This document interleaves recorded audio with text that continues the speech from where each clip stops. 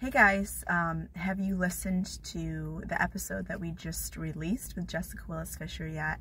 Um, it is so, I mean, it's only like an hour and 20 minutes, so it's not a whole story. Someone can't share their whole story in that amount of time, but I just feel like Jessica did such an amazing job helping to highlight some of these issues, um, being in dysfunctional families, high control systems, like high control religion, but inside of a family, um, cult like environments. Really, really powerful. And something that she brought up, which I think is so um, important to talk about, is how responsible she actually felt for her mom and how her mom was also an abused person, a victim of her father, but she was an adult.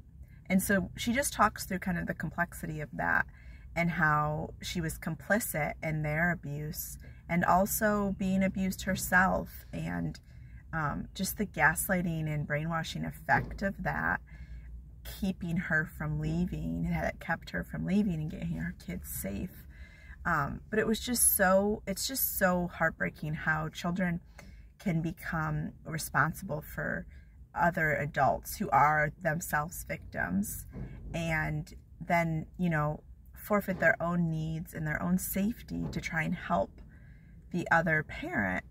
Um, it's just, it's such a complex, nuance conversation when you explore family dynamics and abuse. Um, and how this plays out with siblings and, you know, which siblings have what roles in the family system. So if you want to hear more about that, I recommend listening to the episode. Um, just hearing from her about how it's easy to judge these situations and really have like these very straightforward answers for them and what I would have done.